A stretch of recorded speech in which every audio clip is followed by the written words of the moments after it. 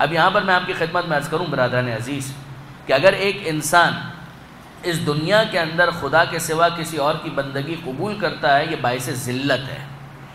اور خدا وحدہ لا شریک کی اگر وہ بندگی قبول کرتا ہے تو یہ ذلت نہیں ہے، یہ اس کے لیے باعث عزت ہے۔ پروردگار عالم اسے عزت دے گا اگر وہ خدا کی بندگی قبول کریں۔ اور اس کس نے کہا؟ خود امیر المومنین علی ابن ابی طالب علیہ السلام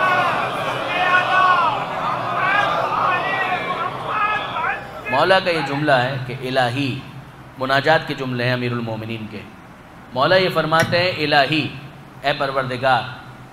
کفا بھی عزن مفات الجنان کے اندر شیخ عباس کمی نے اس کو نقل کیا۔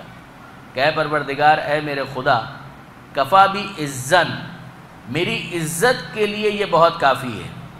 ان اکون لکا عبدن، کہ میں تیرا عبد اور تیرا بندہ ہوں۔ وہ کفا بھی فخرن اور میرے فخر کے لیے یہ بہت کافی ہے، ان تکون علی ربن، کہ تو میرا رب اور میرا پروردگار ہے۔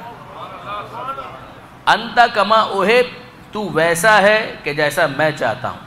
فجعلنی کما توہب مجھے ویسا رکھ کہ جیسا تو چاہتا ہے۔ آپ ذرا غور فرمائیے برادران عزیز، اس مناجات کے ایک جملے کے اندر امیر المومنین نے کتنے مسائل کو حل کیا۔ امیر المومنین اس جملے میں یہ سمجھا چکے۔ اپنے جیسے بندے کا بندہ مت بن۔ اللہ نے تجھے آزاد پیدا کیا ہے۔ اب یہاں پر سمجھا رہے ہیں کہ اللہ کا بندہ بن۔ مناجات کے ذریعے سمجھا یہ رہے ہیں کہ اے پروردگار، عزت کے لیے یہ بہت کافی ہے کہ میں تیرا اب اور تیرا بندہ ہوں۔ وہ کفا بھی فخراً اور میرے فخر کے لیے، میری پریسٹیج کے لیے، میری عزت کے لیے، میرے پرائڈ کے لیے یہ بہت کافی ہے۔ ان تکون علی ربن، کہ تو میرا رب اور میرا پالنے والا ہے۔ پھر اس کے بعد مولا یہ فرماتے ہیں، انتا کما اوہب کہ تو ویسا ہے کہ جیسا میں چاہتا ہوں۔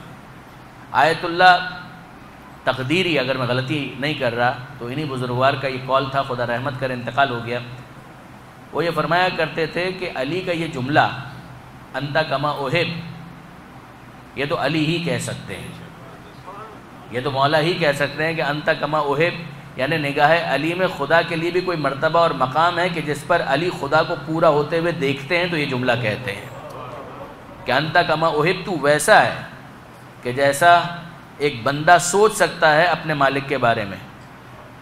اب وہ کیا کرتے تھے کہ یہ تو علی کہیں گے۔ میں جب علی کی اتباع میں مناجات کے یہ جملے تکرار کرنا چاہتا ہوں تو یہ نہیں کہتا کہ تو ویسا ہے کہ جیسا میں چاہتا ہوں، میں کیا چاہ سکتا ہوں؟